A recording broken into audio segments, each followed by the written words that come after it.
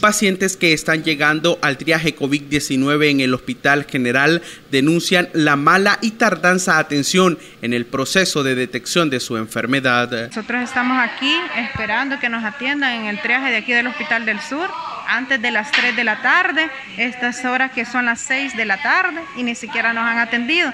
Pasamos porque le tocaba el cupo ya a ella, porque realmente cuando miraron que ya mandamos fotos a otras personas ahí que también estaban cansadas de esperar, porque mandamos fotos cómo estaba la fila y entonces ya empezaron ellas, cuando se dieron cuenta de eso, empezaron a a dar la consulta. Hay personas que solo venían a tres resultados y sin embargo no las despacharon. Estábamos juntos, los que no tenemos y los que tenemos. Entonces no es justo. Y luego pasamos y no tiene que esperar su turno, la devuelven otra vez para atrás. Ahorita atendieron dos que no, no les tocaba, sí, son niños, tienen razón, pero ella también ha estado con fiebre y no se le paga. Entonces es justo que la atiendan, pues ya demasiado tiempo.